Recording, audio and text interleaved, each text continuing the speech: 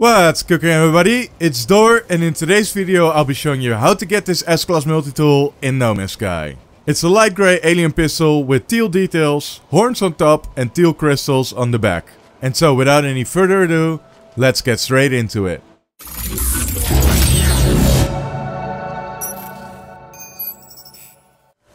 First you want to make sure that multiplayer is disabled in the network settings. Once you've done that, head to a portal in the Euclid Galaxy and enter the following glyphs.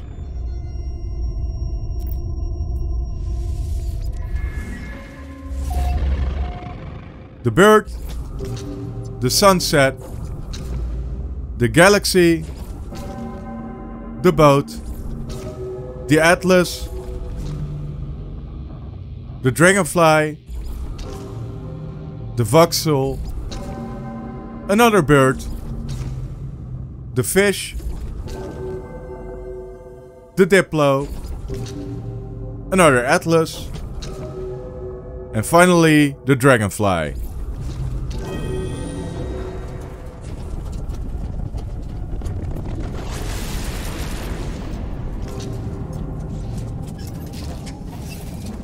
Just go through the portal and you should arrive on Lafayette or Oke in the Inoshibi 11 system.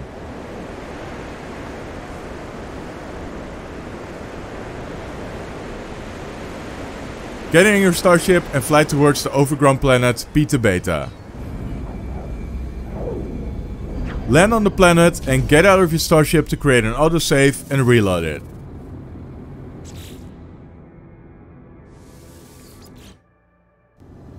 Once you're back in, get into your starship and fly towards the space station.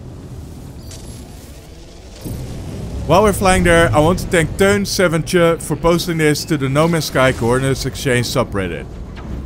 This is also the moment where I ask you to please leave a like and or a comment if you found this video helpful in any way.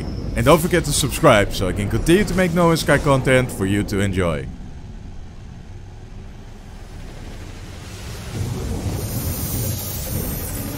So when you arrive at the space station, just go to the multi-tool vendor.